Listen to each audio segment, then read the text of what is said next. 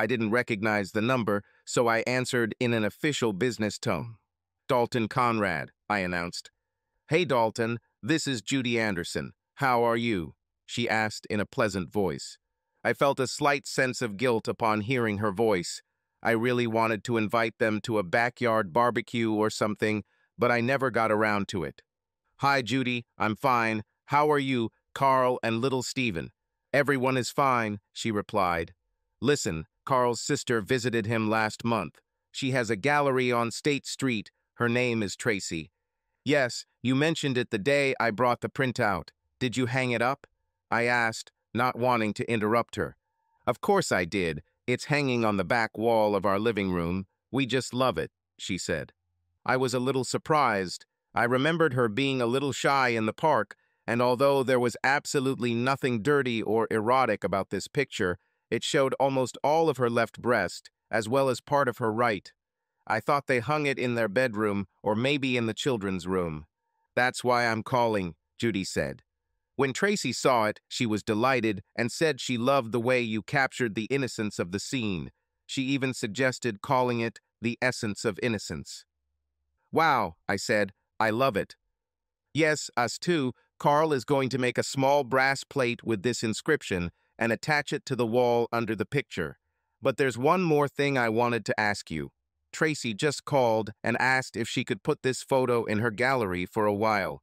She will, of course, indicate your name. I know you don't usually do this kind of photography, so I said I need to see if you have any objections before agreeing. Judy, the photo is yours. It's a gift. You can do whatever you want with it, but to answer your question. No, I don't have any objections. On the contrary, I'm flattered, I told her. Oh, Dalton, thank you. I was hoping you would say that. We've received so many compliments on this photo that I can't even tell you. Carl and I really want to thank you again. We will treasure her forever, she said with delight in her voice. Before this call, my days and nights simply melted into one dull moment after another. As they say, there is no joy in Mudville.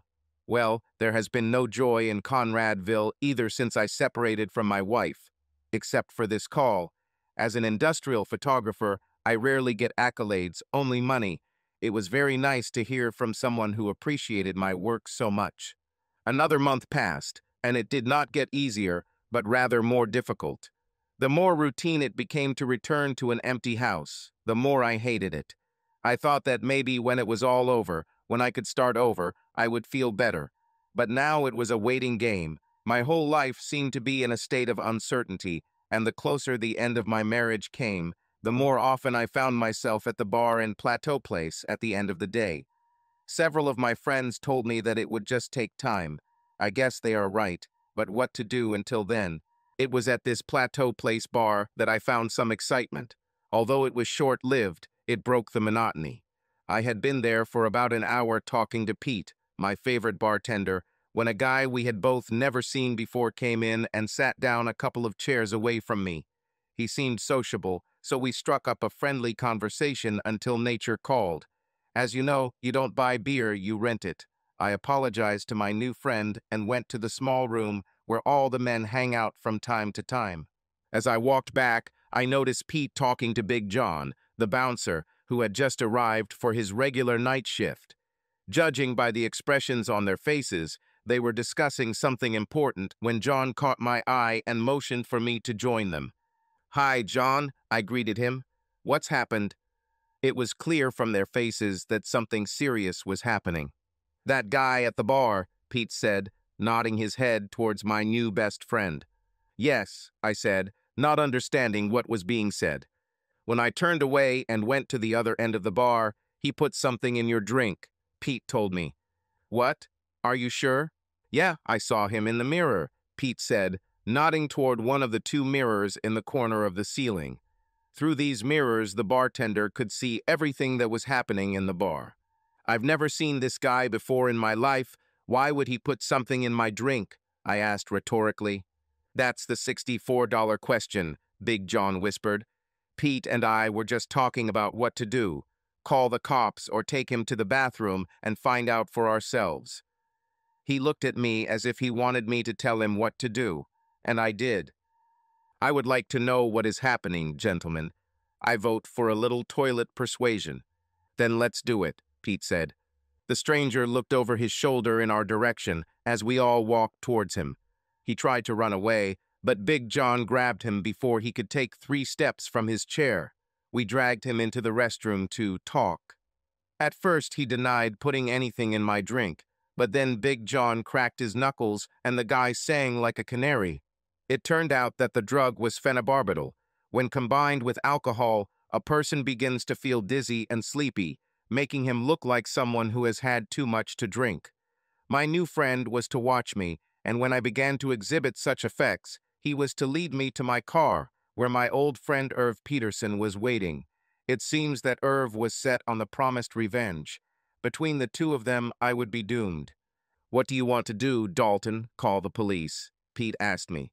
I sighed.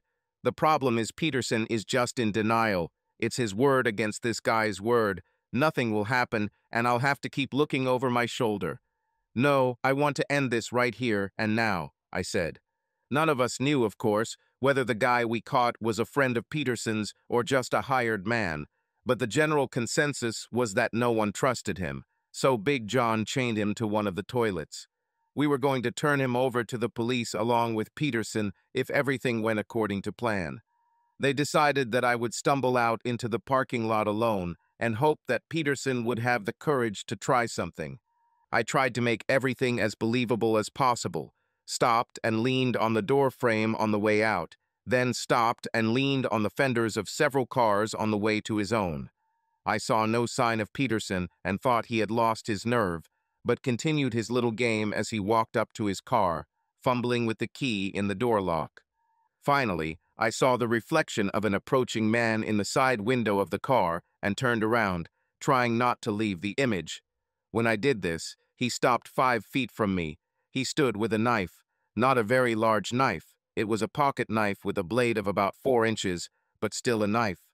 I saw the doubt on his face disappear as he watched my eyes droop and my body sway. His face broke into a wide smile as he took the next step that put him within reach. I quickly stepped forward with my left foot, then kicked with my right, hitting him in the shin as hard as I could. His reaction was typical, the knife falling out as he grabbed his leg with both hands, going into a forward somersault as soon as he hit the asphalt. I knelt down with my knee on his chest and threw four short punches to his face with my right hand. He was almost knocked out, but damn, this was the guy who ruined my life. I stood up and picked him up by his shirt before punching him in the stomach. He bent over at the waist with a loud groan. I straightened him out and aimed another good blow to the jaw. He flew back towards my car and slid back onto the asphalt. Big John watched from the corner of the parking lot in case something went wrong. He called the police from his cell phone before pulling me away from my alleged attacker. Once again, my long-standing relationship with the police worked to my advantage. I knew three of the six police officers who responded by name. With Big John as a witness, they arrested Peterson for assault with a weapon. This was not a minor offense. This time he would not be released on parole. He will have to post bail, and if he can't, he will remain in jail until his trial. The only thing that dimmed my pleasure in Irv's situation was that I thought about his wife and children. They were the innocent victims of all this. After testifying at the station, I returned home to soak my hand in ice water. It throbbed wildly and was very swollen. I wasn't even sure I could hold the camera for a while.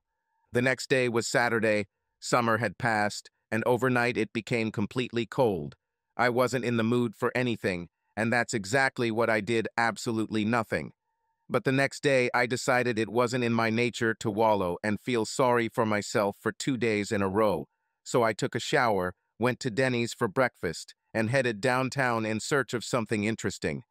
I would most likely end up at the Lincoln Park Zoo, but I was still open to other suggestions from myself. I was getting off the highway when I remembered the art gallery that Carla's sister ran and wondered if my photograph was on display there. I didn't know the exact address, but I knew that the gallery was located downtown, on State Street, and it wasn't that hard to find. I was just wondering if it would be open on Sunday. In the end, I found it without much difficulty, and it was open. I was instantly captivated. The place was large and had an impressive assortment of impressive pieces of art on the walls. There was an easel with my photograph of Judy right in the middle of the room. Hoping to overhear the conversation, I joined several people standing around looking at her, but they moved away as soon as I approached. I was about to look at a couple of watercolors I noticed when I heard a woman's voice behind me. Stunning photo, isn't it? I turned around and almost gasped out loud. Standing in front of me was a beautiful woman with golden hair, bright blue eyes, and a smile that could melt a glacier. I heard what she said, but seeing this embodiment of beauty, my mind went blank, and I answered the sophisticated lady in a graceful, James Bond-like tone. Huh? Photograph, she repeated. This is my daughter-in-law. I think she's amazing. Her sister-in-law, so it was Carla's sister. I put my thoughts in order and spoke coherently. Yes, I agree, I said, deciding to tease her a little. You can't be in the art world without learning the psychobabble of an artistic colony. I stood back, pretending to look at the display. The whole scene looked so fresh and innocent. I love how the photographer used the morning light to highlight the hair, and see how the light penetrates the fabric of her blouse. This gives the material a translucent appearance and bathes the center of the photo in a warm, glowing light. It can be seen that the photograph was taken with a telephoto lens, I believe a 300 millimeter one. Can you tell by the softness of the background? And then the corners of the photo were darkened so that the viewer's eye was focused on the essence of the image. She looked shocked at my critique. Wow, you're either a photographer, an artist, or a critic, she said, holding out her hand. I'm Tracy. Nice to meet you, I replied, gently shaking her hand. I'm Dalton Conrad. Her brows furrowed for a moment. I knew she was trying to remember the name. Dalton. It sounds. Are you a photographer? She revealed with surprise. No wonder you knew so much about the photograph, she laughed. Guilty, I admitted, laughing too. She must have felt the swelling on my arm. Still holding it, she turned it over to look. Yeah, I had a little accident the other day. It's much better now, I told her. We started talking, and I mentioned that I had seen a couple of watercolors that I wanted to see. She gave me a personal tour, talking about different artists and who she thought would be big in the future. We ended our walk in front of some watercolors that interested me. It turned out that her father wrote them. Damn it, Carl said his father was an artist, but I didn't know. I began, and my words trailed off. Is he still drawing? I asked. No, a few years ago, he developed Parkinsonism, which ended his career, she said sadly. Oh, I'm so sorry to hear that. He's extremely talented. What a pity he can't share his talent more, I said. I looked at two paintings, trying to decide which one to buy. Both were beautiful, and the thought of having one of them hanging in my home lifted my spirits. Finally, I chose one. I'll take this one, I said to my beautiful hostess. Is it true?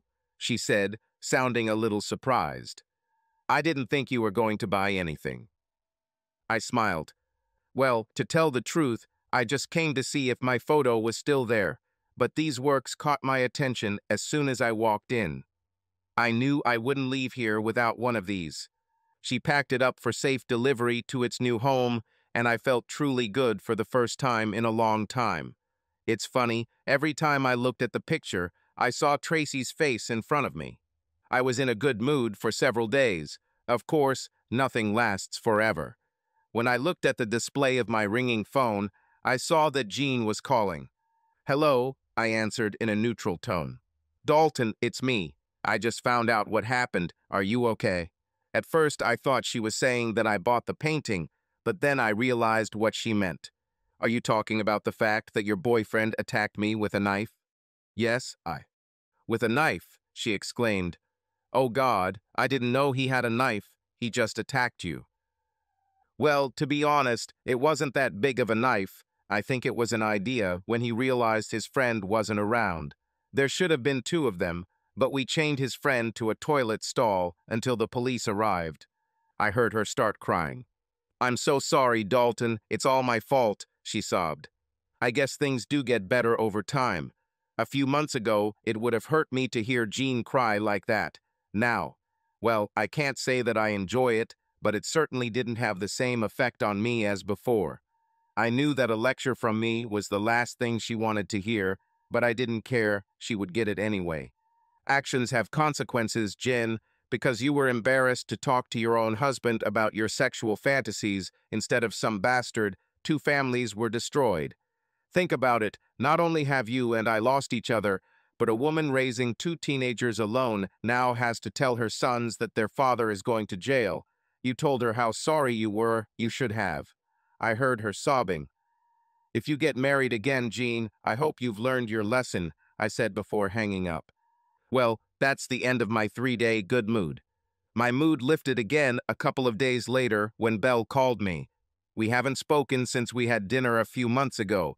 She was nice, not my type, but nice to talk to, so when she suggested a drink after work, I happily agreed.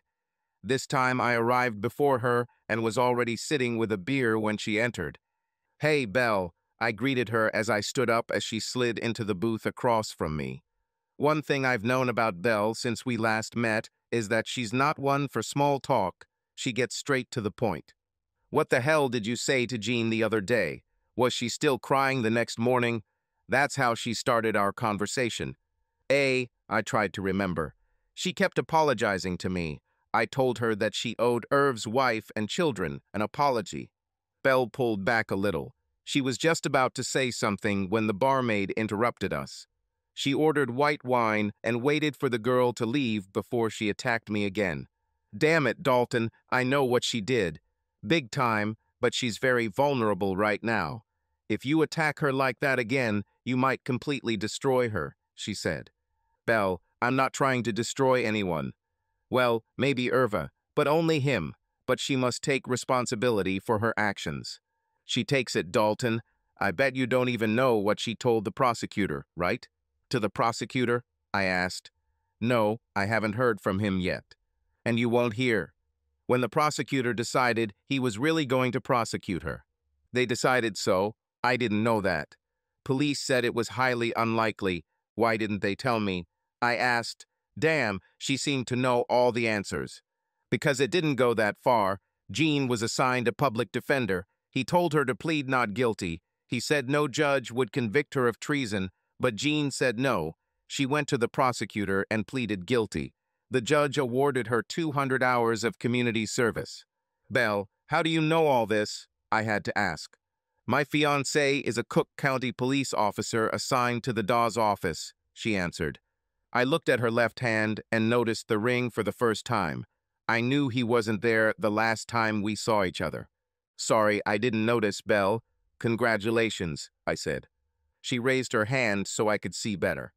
Thank you, she replied with a wide smile. I know most of these guys. What's the lucky guy's name? I asked. Dave Quinn. Dave? I responded, thinking how small the world is. I've known Dave for many years. I know, as soon as he saw the name on the arrest report, he knew it was you. He didn't know I was working with your wife until he told me one of his friends was having marriage problems and we started comparing notes. She took her first sip of wine. Anyway, my point is, Jin most likely could have gotten away with it, but she took responsibility, like you said. She is trying to atone. I didn't say anything. I just sat there, staring at the glass I was twirling in my hand, and let her words settle. She still loves you, you know. I nodded my head. Yes, I know, and to some extent I love her too. But we can never be a couple again. The wounds are too deep, I said. I know, she said with a slight sigh. And Jean too. And she accepted it. But that doesn't mean you have to keep hurting her, Dalton. God, she cried so hard after she hung up the phone that day that we all went to her office trying to calm her down. Even Beverly tried to help. She was so upset that we all knew she needed to go home, but no one wanted her to drive, Mr. Jacobson came in and told me to take her home. Dalton, she's in terrible shape. When I got her home, I helped her mother put her to bed, and then I sat and talked with her mom and dad for a while. She was going to call you on Monday about the fight, but her parents talked her out of it. They know how much you are suffering and were worried about what you would tell her.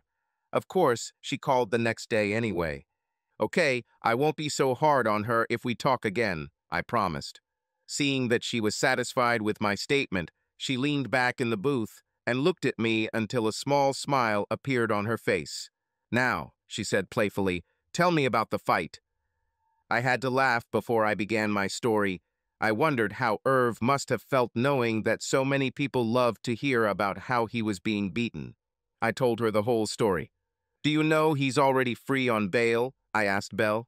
No, I don't know, and I doubt it will come out any time soon, she said. The other guy, the one who tried to put something in your drink, is going to testify that Irv paid him to drug you.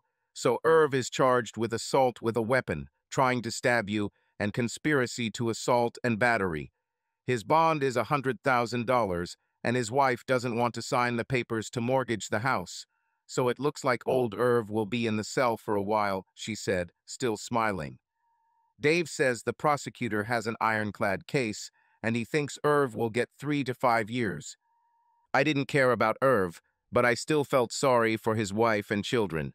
I also couldn't help but feel sorry for Jean. No matter how hard our divorce was for me, it seemed that she was suffering even more. A few days after talking with Belle, I realized that I had a couple of free hours between jobs. I knew Jean would be at work, so I went to talk to her parents. She had her own apartment, but her parents didn't want her to be alone, so they persuaded her to stay with them for a little longer. They told me almost the same thing as Belle. She was in terrible shape. She goes to work every weekday and returns home immediately afterwards. She never stops for drinks with the girls, doesn't talk to anyone on the phone, or goes out for the evening. The only time she leaves the house on weekends is to go shopping with her mother. I asked if there was anything I could do to help other than take her back. They said no. They were confident enough. They finally managed to persuade her to go to bereavement counseling. Between that and their love and support, they thought she could handle it. They also expressed regret for her actions and said that they would always love me like a son. It was nice to hear that. I reminded them that Jean would not receive his copy of the final ruling in another three weeks. They said they knew. I was glad to hear that they had arranged for her to leave for a week and were going to take her with them to visit friends in Fort Lauderdale. Jean loved the ocean and the beach. Perhaps this was exactly what she needed to spice up her life again. When I left, I wondered if I should do the same, just book tickets somewhere and go. The problem is that I had a busy schedule for several months in advance, and there was no way I could do it. The day our divorce became final, I worked like crazy, trying not to think about it. After work, Jack and a few other friends surprised me by dragging me out of the house and into a gentleman's club. The next thing I knew, I was waking up on Jack's couch with his kids playing cowboys and Indians around me guess who was the Indian. The following month, I received a subpoena to appear as a prosecution witness in the state of Illinois v. Peterson case. The trial lasted only three days. Dave was right. This was a one-two punch for the prosecutor. Irv was sentenced to three to five years at the Danville Correctional Center, a medium-security prison. It was all over. I could close this chapter of my life and move on, but how to do that? I decided a vacation was a good idea. I returned home and looked at my schedule again. In addition to scheduling myself, I also had an agency book the work for me. They received 20% of everything they offered. Between the two of us, my calendar was booked until September, several months in advance. Well, better late than never, I thought. This will give me something to look forward to. I blocked that week and told the agency to do the same. Now all I had to do was decide where to go and what to do. Oh well, I've had time to think about it. Life got pretty dull after that. I might have a drink with a friend every now and then, but mostly it was to get up, go to work, come home, and go to bed. I didn't have much of a social life. I hated even thinking about jumping into the dating pool again. As is typical for Chicago, it was 45 degrees one spring day and 82 the next, and summer was here. Damn, I thought, Memorial Day is less than two weeks away, and I haven't made any plans. I usually had a party in the yard with all of our friends and family, but in truth, Jean was the one who organized it all. My heart trembled slightly when I thought about her for the first time in a long time. I wonder how she is doing Is she lonely like me? I guess my friends had already figured out that I wasn't going to throw a party, so by the end of the week, I had three invitations to events over Memorial Day weekend. Jack was hosting a small barbecue on Sunday, which was great because it left me free to attend Carl and Judy Anderson's barbecue on Monday. I was hoping Tracy would be there. When I arrived, I recognized a couple of neighbors, but was disappointed not to see Tracy around. I walked around with a beer in my hand, talking to a few people I knew in the area, but I felt out of place since everyone had a spouse. Finally, not knowing what else to do, I volunteered to be the official grill cook. It would be my job if I had my own party. Carl readily agreed, and here I stand, handing out burgers and hot dogs on warmed buns to everyone. I was flipping a new batch of burgers when something landed on my ear. I shook my head and at the same time tried to shake it off with my hand, but it came back. This time I slapped it, hitting myself in the ear. I'll be damned if the damn thing doesn't come back. I was about to spank myself to death, trying to kill the thing when I heard laughter behind me. Suddenly, my whole day lit up when I turned around and saw Tracy with that same gorgeous smile and the feather she apparently found on the ground. Hello, sailor, she said seductively. Is there really a problem?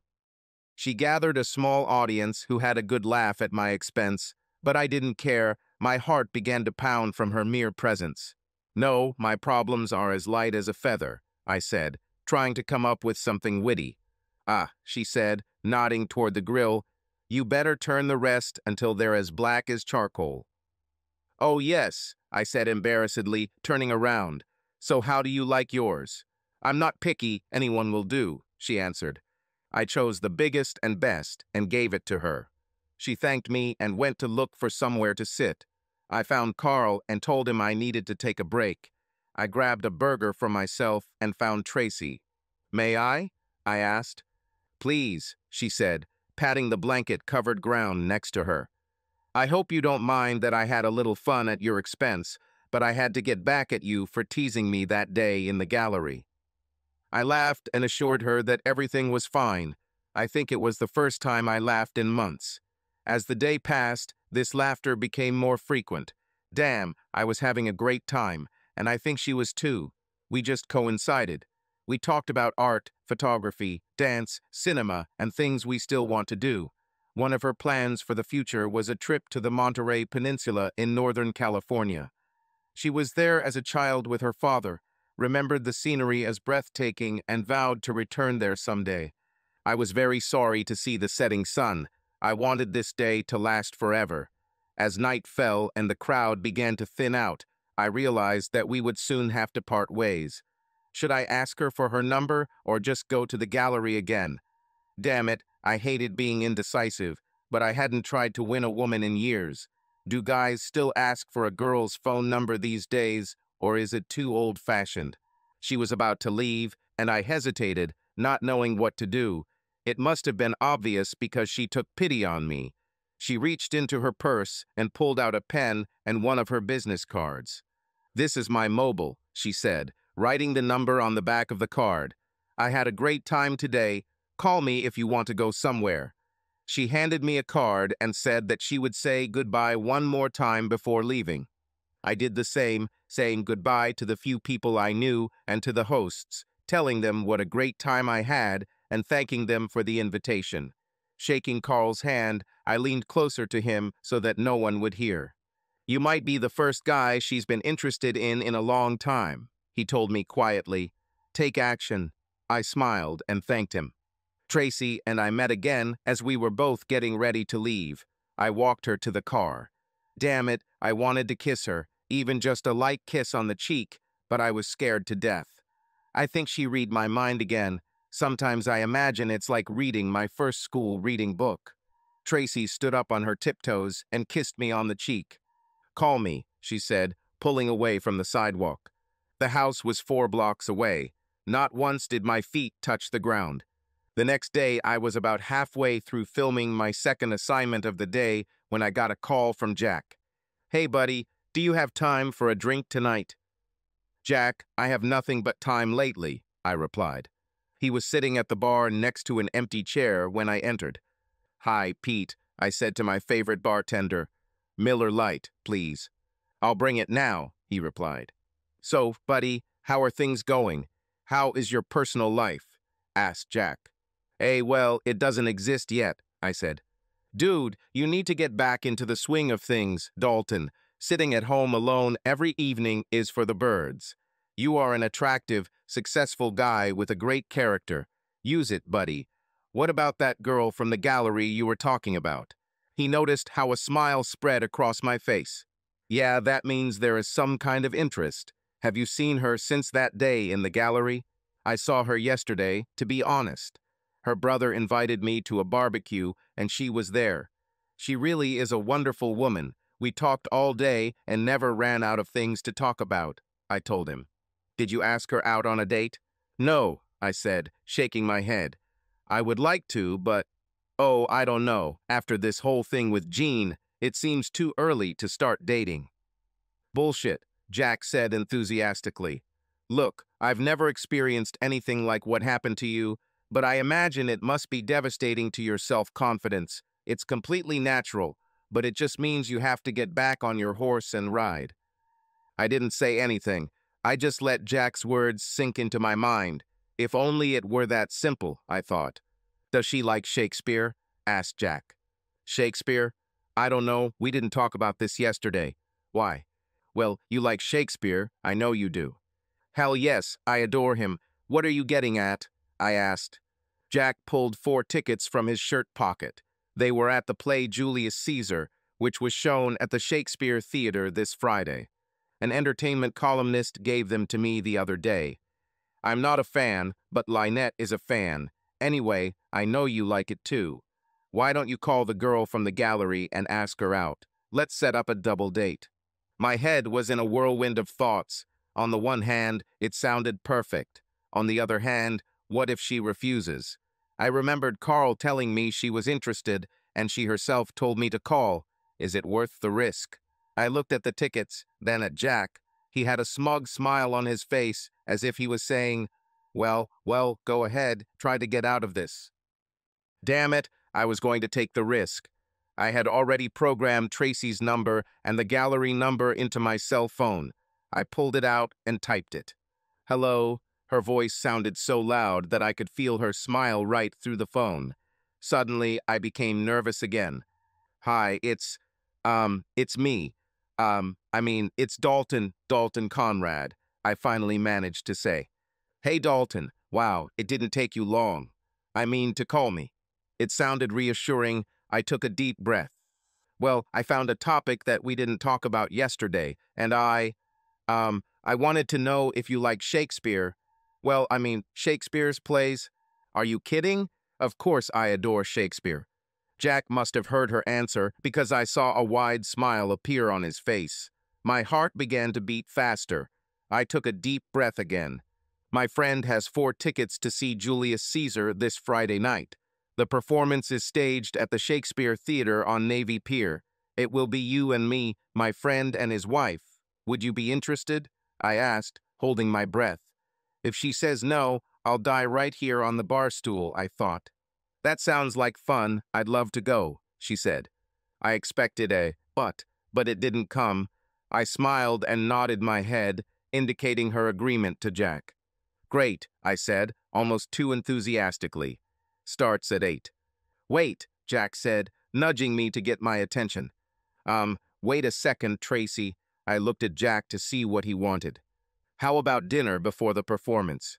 Can she be ready by six? We can stop by the Little General. We'll do everything right, he said. Damn, great idea, I thought. Tracy, could you be ready by six? We can all have dinner together before the performance. Of course, she answered happily. What is the dress code for the evening? I told her to just dress nicely, an evening dress is not necessary. This was my first real date in years. To say I was nervous would be an understatement.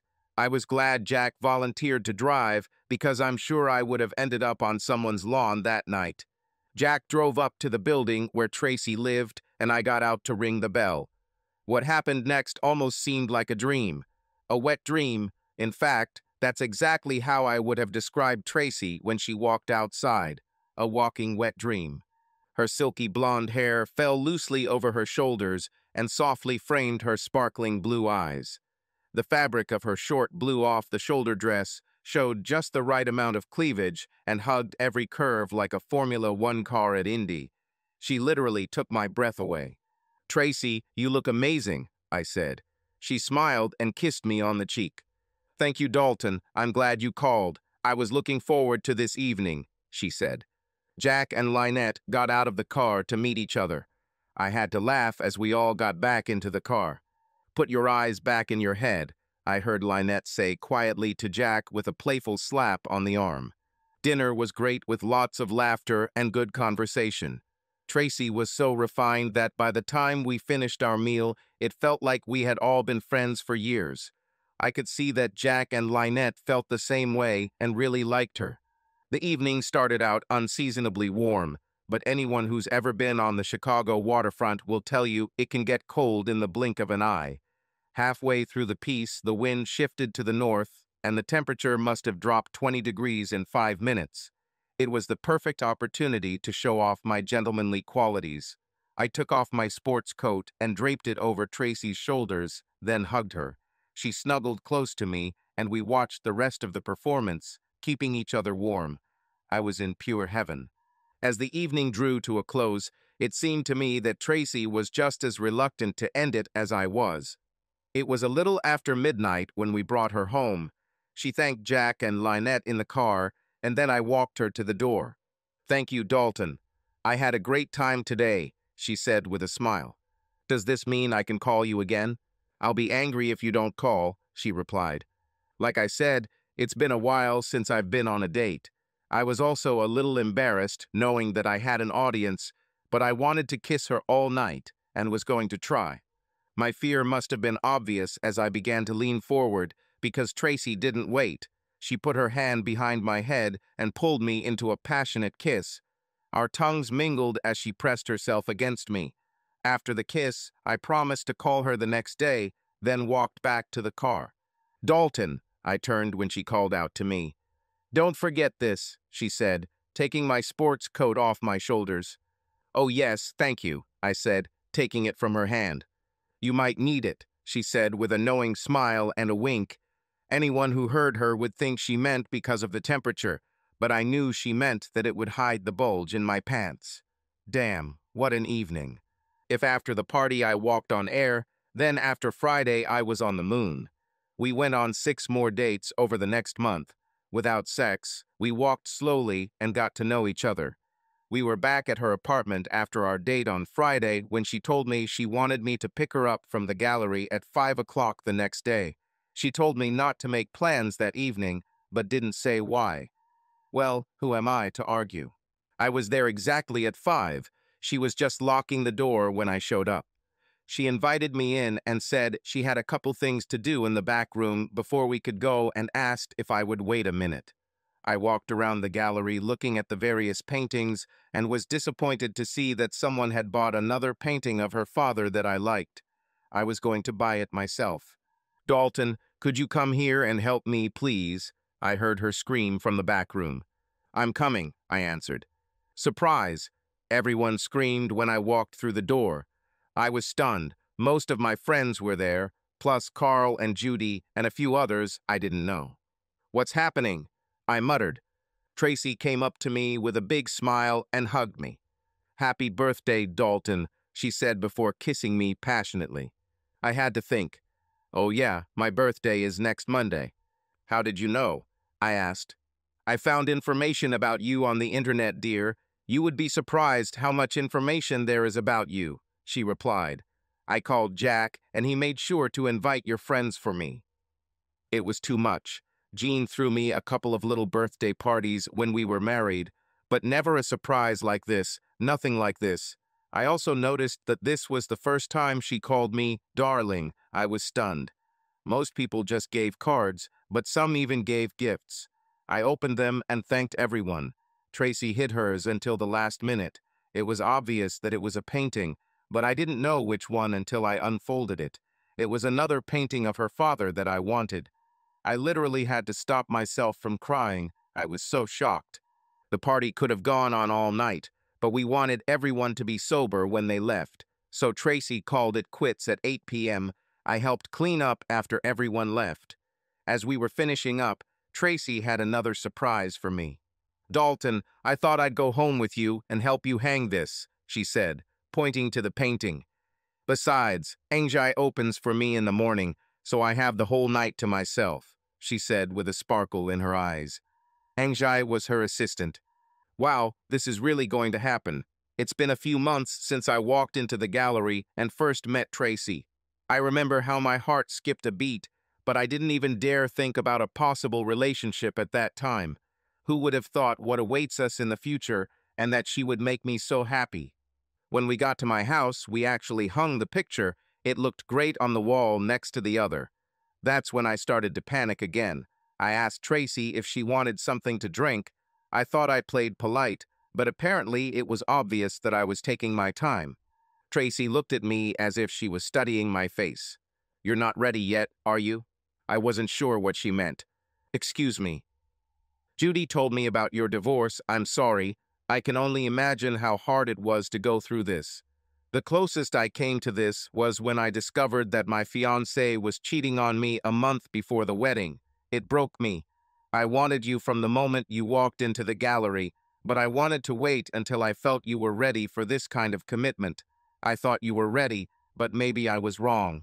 I was stunned. I didn't know that Judy or anyone else other than a few friends and family knew about my divorce. I know not much time has passed if you're uncomfortable with me being here. She left her words hanging in the air. I think she was waiting for me to say something, but I was still shocked that she knew about Jean. You should probably take me home, she said. No, no, please. Sorry if I seem indecisive. It's just, well, you're the first woman in this house since she left. I think I'm just a little nervous. She looked at me. She seemed to be deciding whether to stay or go. Finally, she smiled. Did you say something about drinking to a girl? Of course, I said, coming out of my stupor. What would you like? A glass of cold water would be nice, she said. Cold water, I'm coming. Here, I pointed to the sofa. Sit where you can see your father's paintings, and I'll be right back. I walked into the kitchen, mentally cursing myself. What the hell am I doing? Why did these feelings of uncertainty arise again? I took a deep breath and poured a glass of cold water from the refrigerator. One more deep breath to gain courage. Here, I said, handing Tracy the glass. Do you want to talk about it? She asked. I'm a good listener.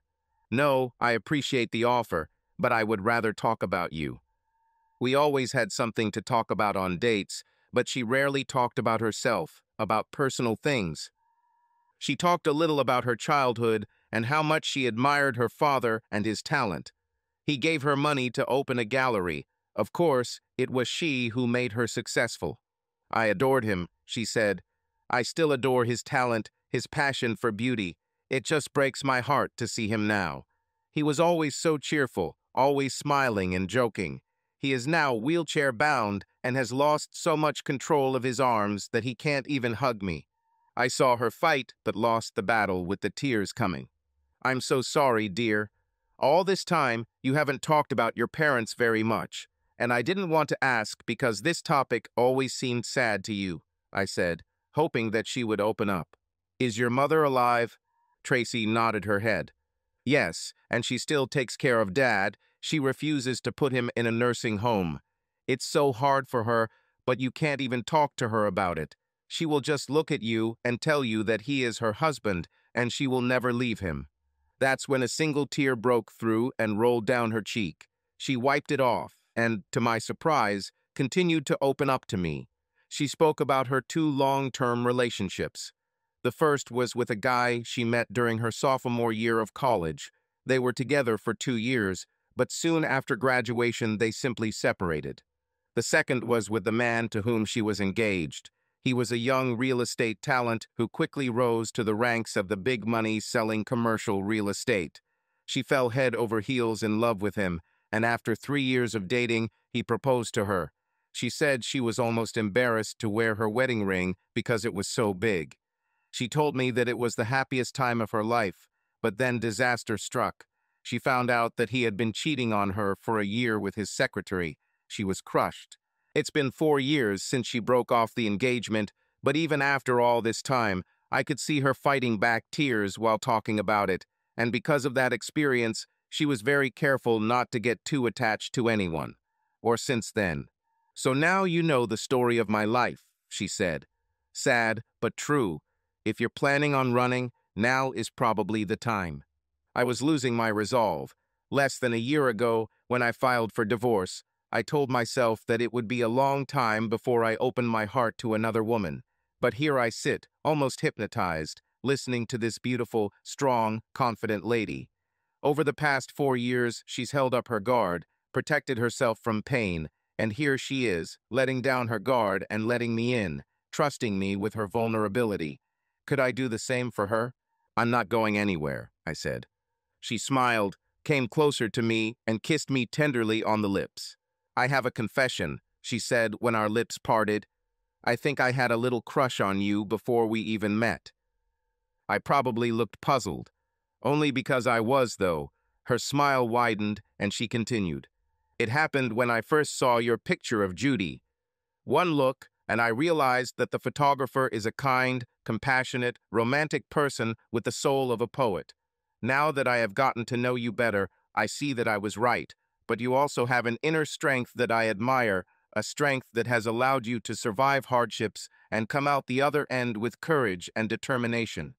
Wow, I said modestly, you make me look like some kind of Superman. Maybe you are, she joked, lightly running her fingers along the inside of my thigh. She looked into my eyes. Are you a man of steel? She asked with a devilish expression on her face. Well, at least one part of me might fit that description, I replied with the same devilish expression. She kissed me, our tongues intertwined like two dancing fairies. I hope you're not faster than a bullet, she said with a laugh, already starting to unbutton the top button of my shirt.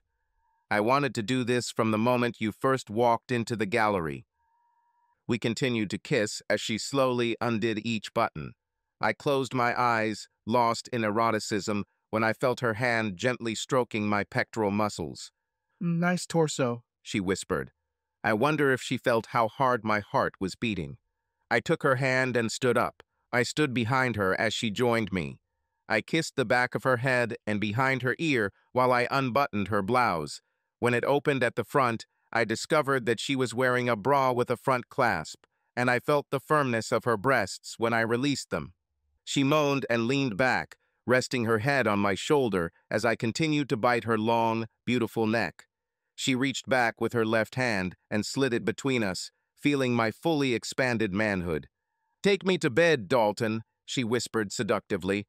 I want you to love me, she whispered. Let's go, I said, taking her hand and leading her up the stairs. For a moment I was struck with guilt. The only person I ever made love to in that bed was Jean, this thought completely disappeared when I took Tracy into my arms. I slowly finished undressing her. With each clothing removed, her chiseled body was revealed more and more. She was great. We lay naked on the bed that had been so lonely for months. Her reaction to my kisses was immediate and exciting as she moaned and squirmed under the gentle touch of my lips. Her breathing quickened. Do I need a condom? I blurted out. She shook her head from side to side.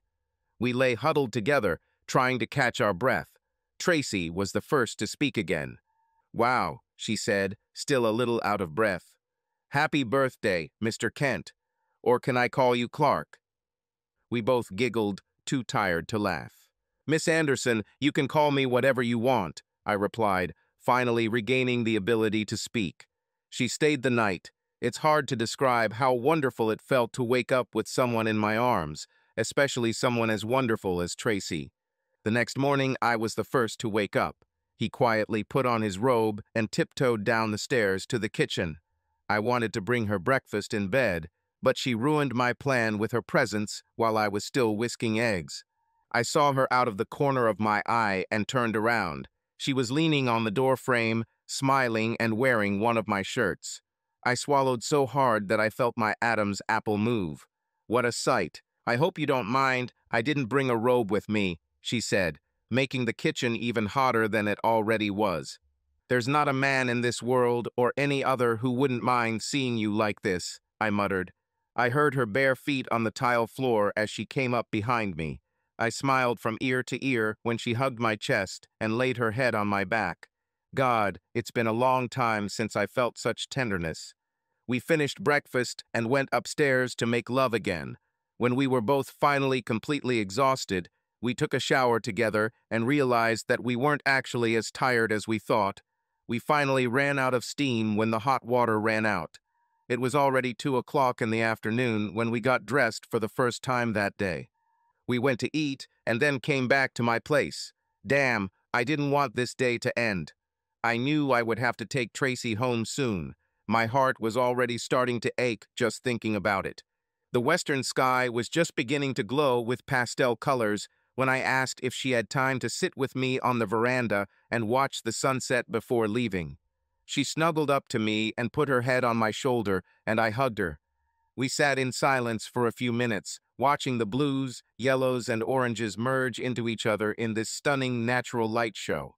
I didn't know it, but we were both deep in our thoughts. I realized that I was falling in love with her. I was going to tell her about it, but she beat me to it. Dalton, were you really serious yesterday when you said I was amazing? Of course, Tracy, you are an amazing woman. Since she herself opened this topic, I decided to tell it like it is. I know we've only known each other for a few months, but... Yes, she asked, looking into my face. Well, I... I... I'm falling in love with you, Tracy. She just kept looking at me. Without frowning, without smiling, she just watched. What if there is something that doesn't seem so surprising to you? She finally said. What if I have a secret that you might find perverted, or at least not like? Her face suddenly became serious, almost frightened. I suppose I looked surprised. What was she talking about? She did not wait for the question and continued. Dalton, I'm falling in love with you too. But I have a secret that I'm afraid to reveal because it could ruin our relationship before it even begins. But I also understand that relationships cannot be built on lies. I saw tears begin to appear in her eyes. I wiped one of them with my thumb. I couldn't imagine that this woman had such a terrible secret that could change my feelings for her.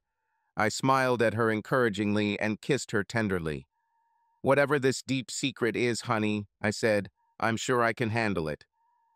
She looked scared. Cautiously, she spoke again. Well, I kind of... I mean, in my work world, I'm always in charge, and sometimes...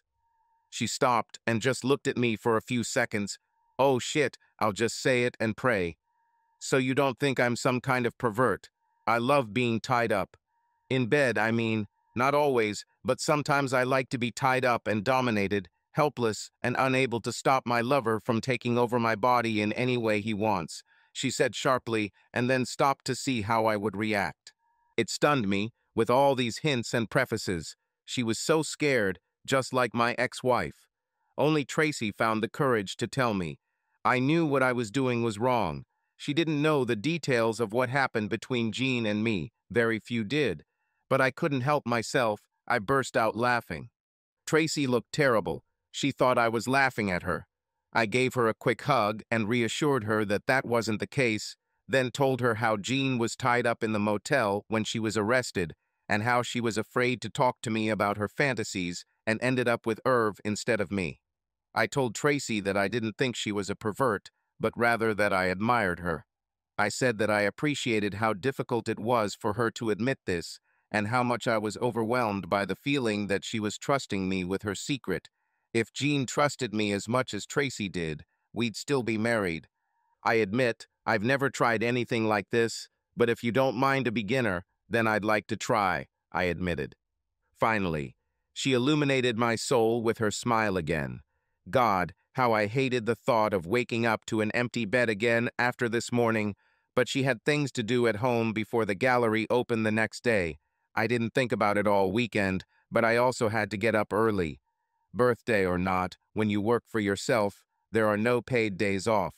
If I don't work, I don't earn money. The first thing I did when I got back and dropped Tracy home was turn on my laptop and find some bondage sites. I've never been into sexual erotica. I just didn't consider sex a spectator sport. For me, it was either full contact or nothing, so it didn't really surprise me that the photos didn't turn me on. In fact, I ended up criticizing their shooting techniques. Poor, direct, single flash lighting, poor composition, overexposed, underexposed, terrible color saturation. Damn, if there's so much money in this business, why can't they afford a real photographer? I found literally hundreds of sites and started jumping from one to another. It turns out that I learned more from reading stories about wild sex than from looking at pictures. Some of them I thought were over the top, and I hoped Tracy wasn't interested in going to such extremes, but there were also things that I thought could be very funny. I even felt excited reading about them. Hmm, maybe this will work, I thought. I wasn't due to see Tracy until the middle of the week, so every night when I got home I researched and read about different techniques for rough sex. By Wednesday evening, I was confident that I knew enough to at least ignite her passion for being tied up and submissive. I prepared a little surprise for her when I arrived at her apartment. It was in my pocket. She greeted me at the door with a big kiss and an even bigger smile. God, she felt so good in my arms. Where are we going, dear? Is this suitable for clothing? She asked, spinning around so I could see her cute little summer dress fluttering. I told her on the phone that we were going to dinner, but I didn't say where. Hold still, I said in a commanding voice. She looked a little surprised, but did as I said. Don't move, I said, walking around behind her. I slowly unbuttoned her dress and pushed it off her shoulders, letting it fall to her feet. What you... Oh, no talking until I say you can, I said, lightly slapping her beautiful panty-covered ass. Spread your legs, I demanded, lightly spanking her again. Ooh. She realized what was happening, and I felt her breathing getting heavier. I leaned close to her ear and whispered, That's what you like, isn't it? Oh, yes, she moaned. What? I said sternly. Yes, sir, she moaned, quickly catching on. It was incredible. I've never had such pleasure before. When she finished, my beautiful submissive girlfriend wrapped her arms around my waist and pressed her cheek against my stomach. Thank you, Dalton, she said quietly. You have no idea what this means to me. I needed to sit down and rest for a while while she put on her dress and fixed her makeup. We went to a small Italian restaurant that I had heard about. As the head waiter showed us to the table, he pulled out a chair for Tracy. She was a little quiet while we ate, and I started to wonder if she liked it. Just as I was about to ask, she looked at me with a wide smile. I'm not sure I can wait until we get home, she said seductively. I might have to crawl under the table and give you one more pleasure right here before we leave. I think this answered my question. Well, she was able to hold it in until we got back, but as soon as we walked through the door, she turned and pounced on me, giving me one of the most passionate kisses I've ever received. I hope you're going to stay the night, because there's no way I'm letting you go tonight, she said firmly. I didn't think about staying the night, but why not? We experimented with a few more games, and then I made love to her again. The sun was already rising when we fell asleep, hugging each other. We only slept for about three hours, but those three hours were filled with real rest and we both woke up bright and energized the next morning. That night was the real beginning of us. From then on, we became a couple. We spent every free minute together. We often played dominance role plays, but we weren't always in the mood for it, and most of the time we just made love. Before we knew it, summer came to an end. I looked at my calendar and saw that I had nothing planned for the first week of September. Damn, I completely forgot about my vacation plans. When I mentioned this to Tracy, her eyes lit up. Let's go on vacation together. I didn't even think about it because I didn't think she would want to close the gallery. I'm training Angie. She's quite capable of running a gallery for a week. What do you say? she asked, completely delighted. Where are we going? In Monterey. Obviously, I had seen photographs of this coastline myself, and just the thought of it sparked creative inspiration in me. If we go, do you mind if I take one of my cameras and take some pictures while we're there? I asked. Against? Are you kidding? Honey, that's the whole point. Just imagine what someone with your talent can do with such a landscape. The next day, I booked our flight to Oakland and rented a car. After a couple of weeks, Tracy gave Angie some final instructions, and we were on our way. By the time we arrived, it was too late to do anything other than eat dinner and play a bit before bed, but the next morning we headed south along the Pacific coast early in the morning. It didn't take long before we were both in awe of the breathtaking views of the California coast. Once I found a parking spot, I grabbed the camera and stuck the spare battery in my pocket before Tracy, and I walked down to the sea. I was like a kid in a candy store. Every time I brought the camera to my eyes, I was able to compose another breathtaking shot. Tracy and I spent the entire day photographing the Monterey Peninsula. It wasn't until the sun set and we had lost all light that we realized we hadn't even had lunch. We found a motel, checked in, showered, and were famished when we were seated at the restaurant. We were both still in awe of all the photos we had taken. The next day, we packed lunch before heading out again. I talked Tracy into posing in a bikini for some of the shots. When we found a secluded little cove hidden away from everyone, I had to promise that these pictures would be for my private collection only before she agreed to take off her bikini. When I first saw this magnificent coastline, I didn't think anything could rival its magnificence, but seeing my woman naked against the backdrop of these prehistoric natural wonders was a truly spiritual experience. I proved this, showing her how part of my body rushed to the heavens, after which we spread the blanket on the sand and made love to the rhythm of the waves hitting the shore. On the fourth day, I found an isolated place that led me to think. Later that evening, I told Tracy that I needed to run to the store for something and asked her to stay in the motel room while I was gone. She questioned me, but did not argue. I knew where to go and returned within 40 minutes with my purchase hidden in my camera bag for the next day. Early the next morning, we found another fantastic spot from which to capture another magnificent sunrise. We continued to find and shoot one stunning seascape after another until midday. We found a quiet place not far from the secret place I had spotted the day before. What's the matter, dear? Are you not in the mood? Tracy asked when I answered differently than usual. Oh, I'm in the mood, baby, but I have a little surprise around the corner, I told her in my Dom voice. I should have known when you left last night, she said with a chuckle in her voice. I raised one eyebrow and gave her my evil, malicious, whiplash laugh. After lunch, we walked around the large boulders and entered the canyon I had seen the day before.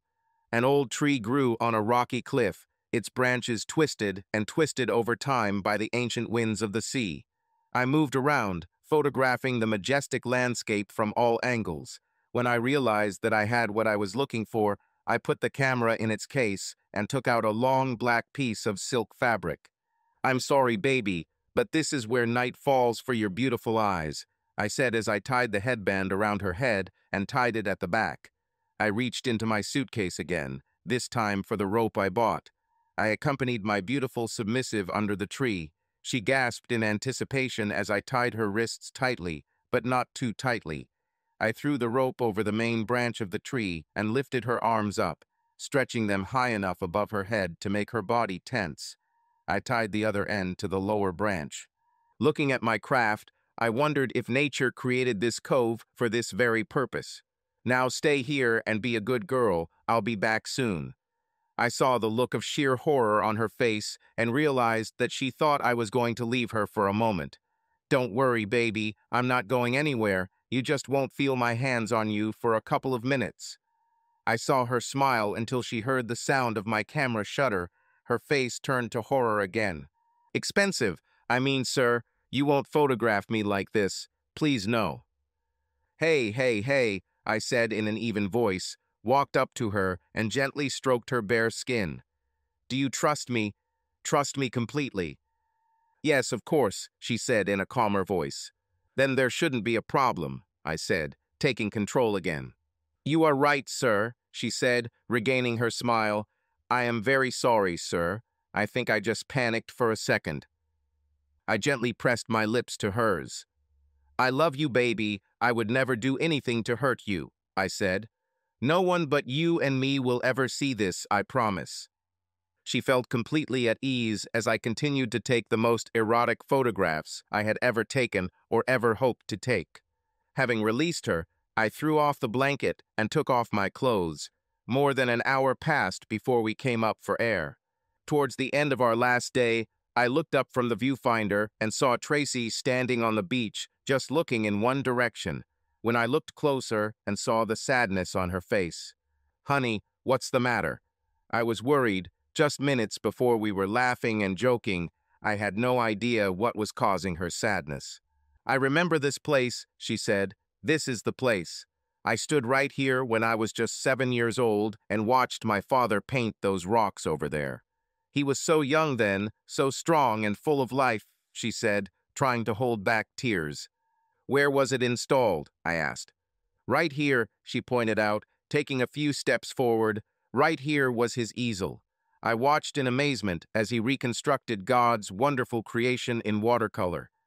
She laid her head on my shoulder and cried when I put my arm around her. I continued to hold it for a few minutes until Tracy felt better, then stood right where her father stood all those years ago and digitally recreated his painting. There was something magical about this place. I felt it too. We sat on the beach, hugging each other, watching the sun slide beneath the stormy waves. Later that night, there was no sex, no bondage, no lovemaking. I held her in my arms while she pressed herself against me. She needed the love and support of a strong man, and I prayed to the man above, thanking him for the opportunity to be that man. The next day, unfortunately, we went home. It was just before noon in Chicago when we left the O'Hare garage. In my pocket were eight flashcards with over 1,300 photographs. Tracy was even more excited than I was about the prospect of editing and selecting the best photos. Since we planned to take some very large photographs of some of the frames, I set the camera to the highest quality image it could offer. As a result, we were unable to view the photos on my laptop. For this, I needed a computer, which I specifically configured for this kind of work. On the way home, we grabbed a quick bite to eat, and then almost ran to my office to look at some footage. I pulled up an extra chair for Tracy and began loading the first card. After about a minute, photo thumbnails began appearing on my 27-inch monitor. Oh my God, Tracy almost screamed in my ear. Look at these things, honey. Every single one of them is incredible. Oh, how the hell are we supposed to choose one over the other here? she asked. I had to admit they were damn good. Of course, it was a creation of nature, but I captured it in all its glory. I know, Tracy exclaimed joyfully, kissing me on the cheek and hugging my neck. One personal show. What? What other solo show? Yours, stupid. Your personal show in my gallery. Oh God, honey, I'll put on an exhibition of your talent and you'll become the most famous and sought-after photographer in Chicago. We will select 100 of the best photographs, if at all possible. You print them, and I will frame them. What do you say? Before I could answer, a new thought occurred to her. We can also print several hardcover books. They will contain 20 photographs, and you can sign them. Oh dear, we're going to have the best show this city has ever seen. What do you think of the idea, my love? I watched her transformation in complete amazement as my warm, sensitive, sometimes submissive friend turned into the strong, confident businesswoman I saw when we first met. She grabbed her phone and was about to start organizing everything when she suddenly stopped. I think I looked a little doubtful. I made money as an industrial and commercial photographer, not as a seascape photographer. I was worried that this might somehow negatively impact my business. Sorry, dear, sometimes I get carried away. I didn't even ask if you wanted to do this yourself, did I? Tracy listened to my concerns and thought for a few minutes. Honey, just like you told me on the beach. I love you, and I would never do anything to harm you. If it's something that bothers you, we'll just forget the idea. But please think about this first. Personally, I think it will only strengthen your business. In fact, if we do decide to do this, I think we should send personal invitations to all of your clients so they can see that you are not only talented in one area, but that your talent as a photographer is limitless. I'm sure your clients will respect your work even more than they already do. She finished her speech, sat on my lap, put her arms around my neck, and kissed me. She was so confident that I couldn't resist. What size do you want the printouts to be? I asked with a smile. This is my man, she exclaimed. What is the largest size you can make? She got very excited when I told her that I could buy paper in rolls and make prints up to 44 inches wide. Tracy hit the ground running. She set the date for the 15th of October, which was a Saturday and only five weeks away. Every evening, she and I selected the best shots. I made prints of different sizes, then she took them to work the next day and framed them. Of course, working late at my house gave her the opportunity to stay overnight while we organized all this. It was something I was getting very used to.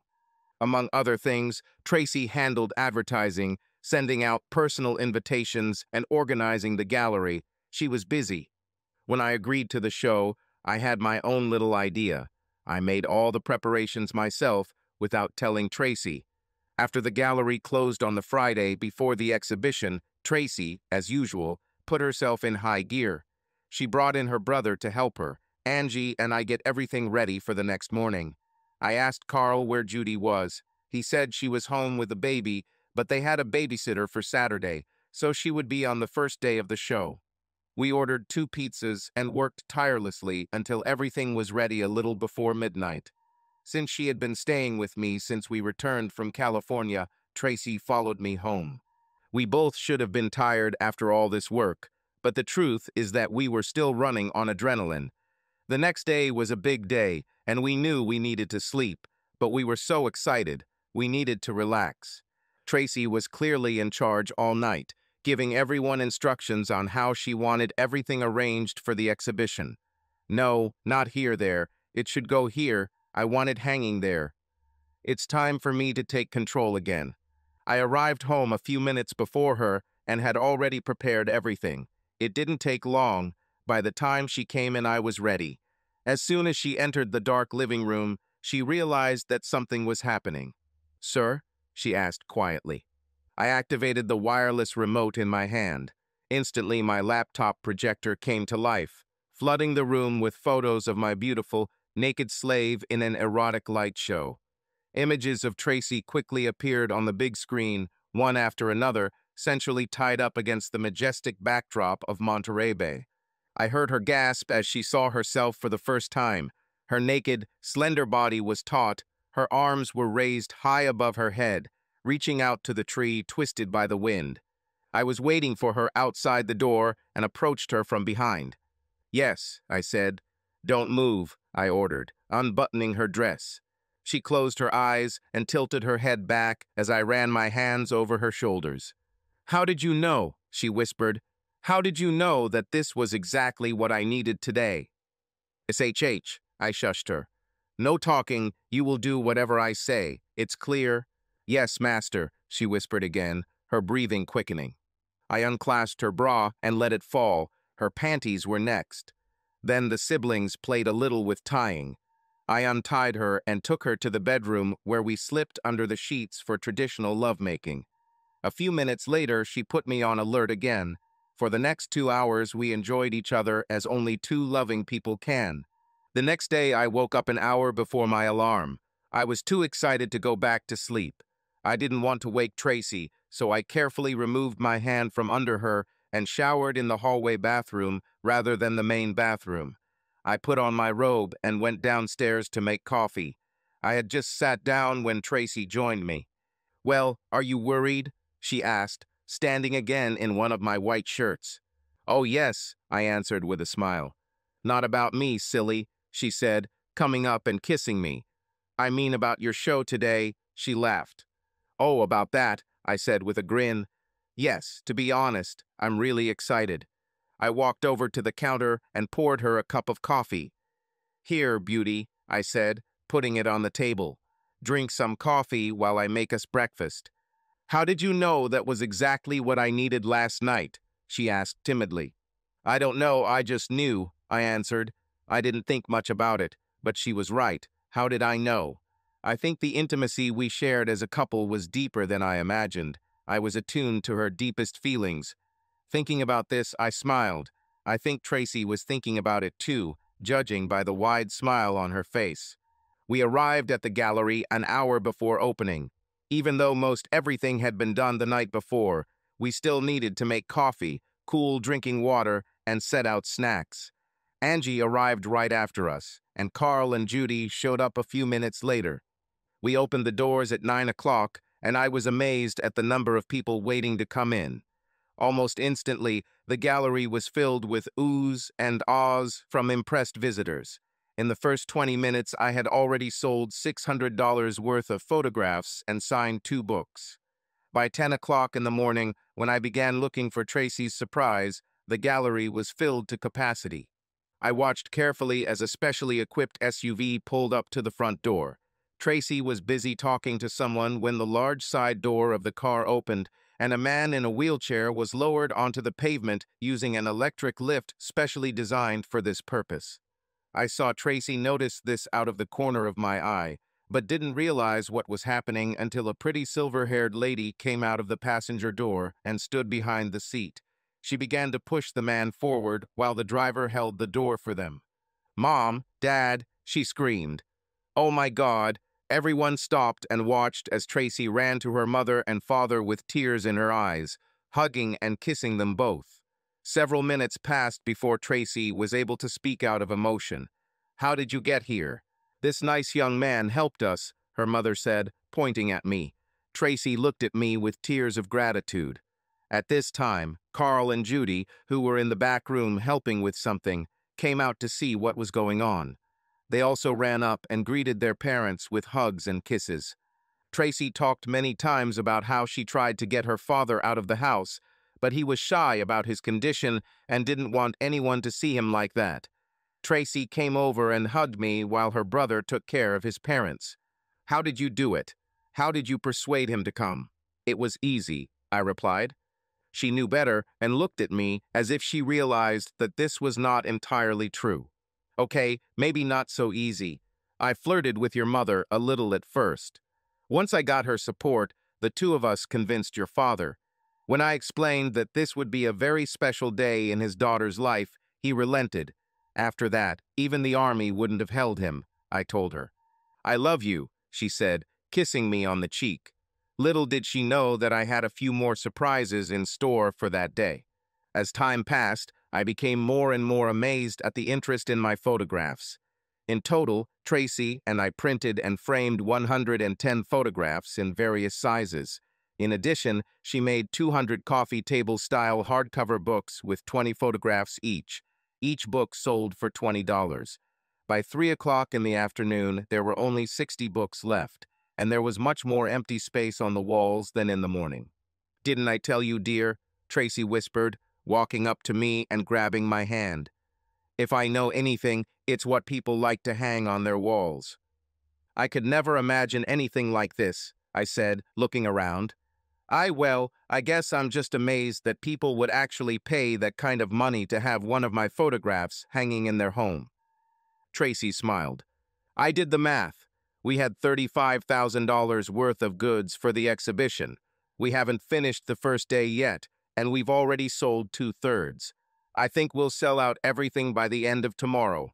I almost felt weak in my knees. Of course, we split the proceeds equally with Tracy, but even so, 17,000 wasn't that bad, especially considering how much fun we had while organizing it all. I smiled and kissed her. Honey, it's late and your parents may be tired, but there's something I want to do before they leave, I told her. She watched with interest as I ran into the back room where I hid my surprise. I returned to the gallery. I'm sorry, friends, I said, raising my voice to attract attention. I want to thank everyone for coming today and for all the flattering and generous comments you have made. You really know how to cheer up a man. This caused a slight laugh among those gathered. I also want to thank the wonderful Tracy Anderson for talking me into putting on this exhibition and for all the hard work she put into creating a truly memorable event. I also want to thank her assistant Angie, her brother Carl, and his wonderful wife Judy for their help. Everyone clapped. And I want to give a special thank you to one person without whom none of this would be possible, Mr. and Mrs. Todd Anderson. How did you? I had to stop for a minute while everyone applauded again. I'm sure you've all seen the incredibly beautiful watercolor paintings that Mr. Anderson is so famous for. Well, it was one of his paintings that inspired this exhibition, and I'd like to give Mr. and Mrs. Anderson a small token of my gratitude. When I finished my little speech, I unwrapped their gift and handed it to Tracy's parents. I knew that Mr. Anderson recognized him instantly by the look in his eyes and the tear that rolled down his cheek. Oh, honey, look, it's just like your painting, Mrs. Anderson said, hugging her husband. Unable to speak due to his illness, he nodded quickly in agreement. I heard a few gasps and looked up to see they were coming from Tracy and Carl.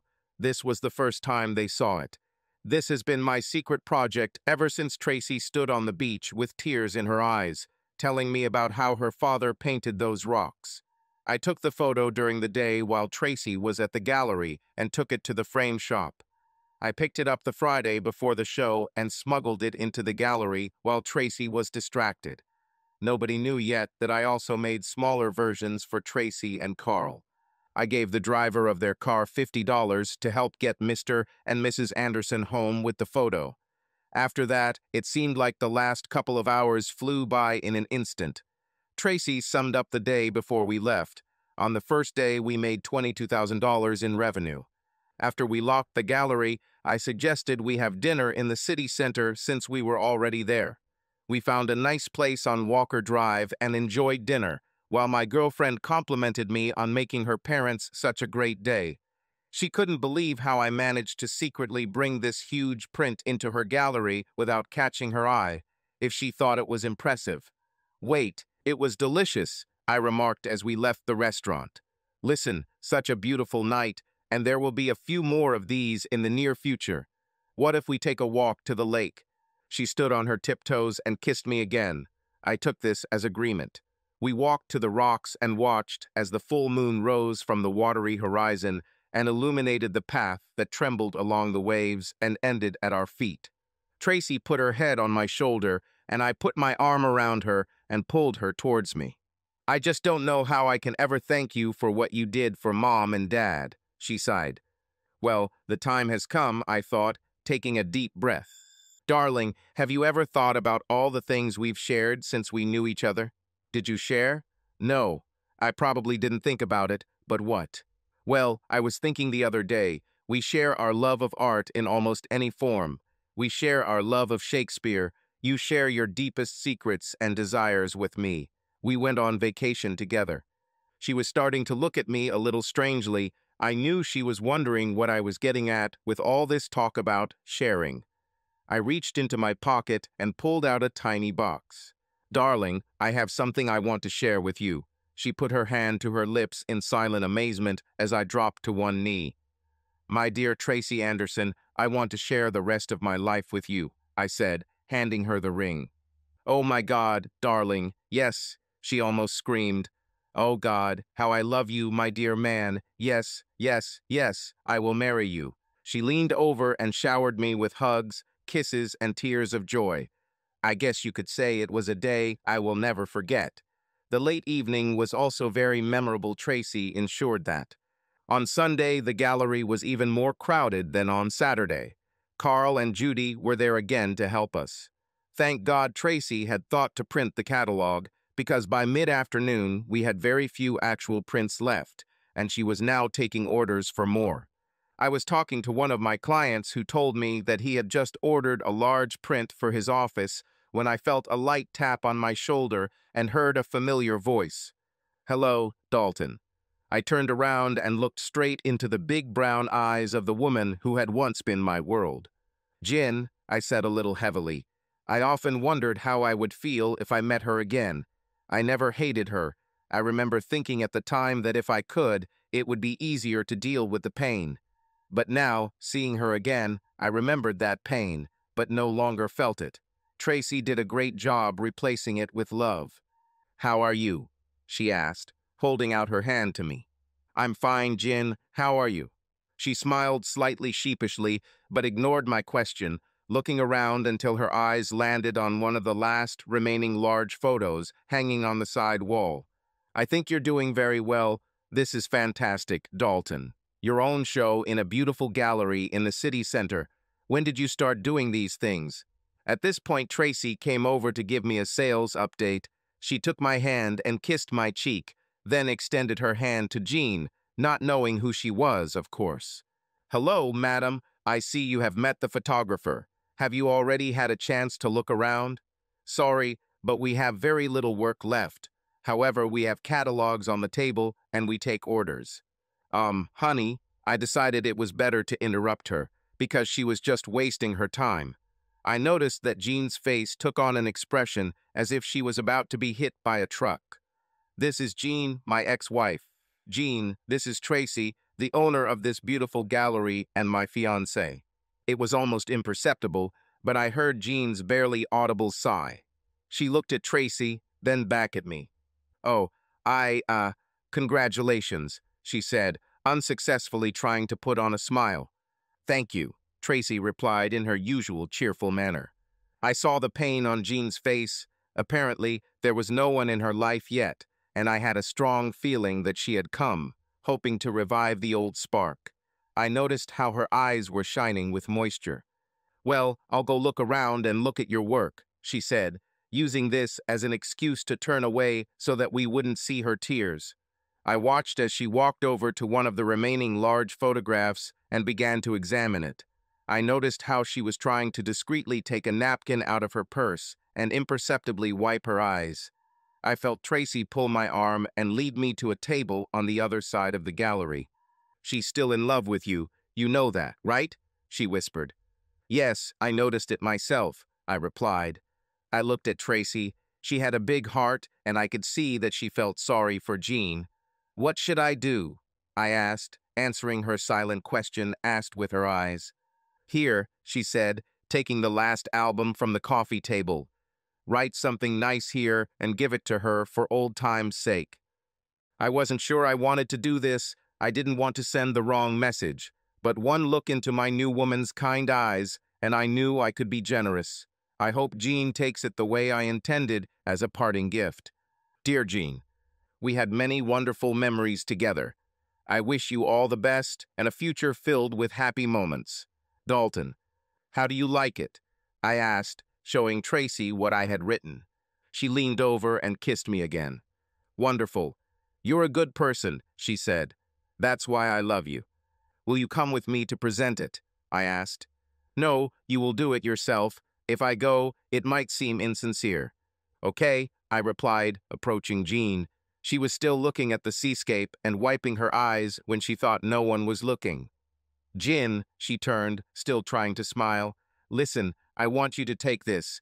We had a lot of good times together and, well, I just thought you might like it. She looked surprised when I offered her the book. She had almost given up trying to hold back her tears. They now flowed down her face as she read the inscription. Thank you, Dalton, she said, crying. I sincerely wish you nothing but happiness with your new bride. I say this with all my heart. I just wish it was me, she said, starting to sob. She pressed the book to her heart, stood on tiptoe and kissed me, then quickly walked towards the door. This was the last we saw or heard of Jean for several years. Tracy and I got married the following June. My buddy Jack was my best man. We both stood in front of the priest and watched as the most beautiful bride in the world walked arm in arm with her father, who was carried down the aisle by Tracy's brother, Carl. I doubt there was a single dry face in the room. No one knew how much time Mr. Anderson had left, and everyone was just glad that he was able to be a part of his daughter's wedding. For our honeymoon, we headed back to Monterey Bay. This time, in addition to capturing the most beautiful place on Earth, where wind and sea meet sand, we're also back with several hundred shots of Fisherman's Wharf and Cannery Street. More than enough for another exhibition. Tracy knew what she was talking about when she said that the first exhibition would strengthen my business. Now I no longer had to look for new clients, they found me themselves, and Dalton Commercial Photography was no longer a one-man business. I had to hire two more photographers, a graphic designer, and a secretary. Tracy and I continue to experiment with sex. In fact, it has become an integral part of our love games. More than once, Tracy came to the gallery with a sore bottom. I especially love coming home after a hard day and finding my naked slave on her knees with a glass of whiskey in her hand, and then, of course, doing her chores while I drink. Of course, this is strictly between us. It's been three years since I proposed to Tracy. A lot has changed since then. After returning from her honeymoon, Tracy organized another exhibition, and it went so well that she opened a second gallery in the northwest suburbs. It is much smaller, but also thriving. She also found a publisher who was happy to publish a book with my photographs, and it was also a success. Tracy's father passed away from his illness about a year ago. Her mother, bless her heart, cared for him until her last breath. Carl and Judy built a small apartment in the back of their house and moved it into their home. She has her own living room, bedroom, and kitchenette so she can maintain some independence and privacy. Of course, the most important thing was the birth of the sweetest baby God ever created, our daughter Taylor. She is six months old and looks more and more like her mother every day. I know some of you may be wondering what happened to Jean. Well, about a year ago, I happened to meet her father, and he told me that she was still working at Versington Industries and seemed to be doing well, at least in that part of her life. He admitted that he was worried about her, Jean registered on several dating sites. He saw her several times after dates and noticed marks on her body from ropes and blows. He said he prayed she would meet someone and settle down someday. Someone like me, he said. The weather was so beautiful the other day that Tracy and I put Taylor in the stroller and went for a long walk. Dalton, I heard as we passed a bench in the park. Tracy and I both looked and saw Jean. For a minute, I thought she was going to lose her composure when she saw Taylor. I immediately realized that she remembered our conversations about starting a family. She didn't even try to hide her expression of regret, but still managed to hold on and even asked to hold the baby. We let her talk more while she held our daughter in her arms. She told us that she had been promoted at work and that she was doing well. But although she tried to show contentment, there was a distinct sadness in her eyes. As we were about to leave, Jean noticed the silver necklace Tracy was wearing. Oh, Tracy, I really like your necklace, she said. Thank you, this is a gift from Dalton, Tracy said, leaning forward so Jean could get a better look at it. I would take it off so you could see it closer, but there is an inscription inside that I'm afraid is very personal and for my eyes only. Besides, it is locked, and only Dalton has the key. Suddenly, Jean's eyes widened, and I knew she knew what it was. Is it locked? Is, is this a slave collar? She asked. Tracy smiled. She knew that Jean was aware of this lifestyle. Only a person who knew what it was could understand the meaning of this necklace. With a devilish grin, she looked at Jean and raised her eyebrows several times in rapid succession. Come on, master, she said, kissing me. It's time for us to go. I took Taylor from Jean and put her in the stroller. We said goodbye and continued our walk, leaving Jean sitting on the bench. I turned around and looked over my shoulder at Jean, who still had a look of shock on her face. End. Subscribe to our channel so that your love doesn't cheat on you, and go ahead and listen to the next story, because this story is nothing compared to the next one. If you're under 18, don't even think click to the next one. Click to the next one. Click to the next one click to the next one.